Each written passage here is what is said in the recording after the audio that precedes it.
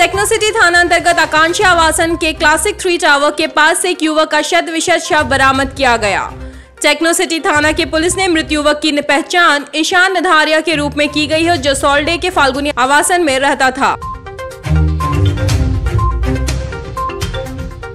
ছিলাম তো আমাকে সিকিউরিটি এসে খবর দিল ওই ছটা বাজে পাঁচটা তারপরে আমরা নামলাম সবাইকে বলে নেমে দেখলাম এখানে একটা ডেড বডি পড়ে আছে ওনারা আমাদের টেনান্টের ডিটেলস দিচ্ছেন না এবং থানাকেও জানাচ্ছেন না।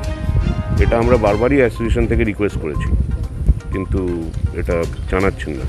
তো সেইটা আমরা থানার সঙ্গে কথা বলছি, আমরা আজকে একটা মিটিং আছে আমাদের, আমরা সেই মিটিংয়ে একটা ডিসিশন নেব কিছু।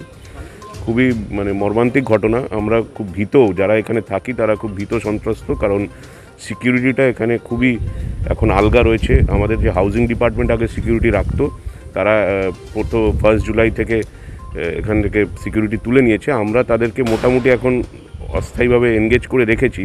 তো আমাদের যে অ্যাসোসিয়েশনের যে মানে জেনারেল বডি মিটিং টিটিং হচ্ছে, তাতে যা কোরাম হওয়া দরকার, সেই কোরামে লোকজন আসছে না।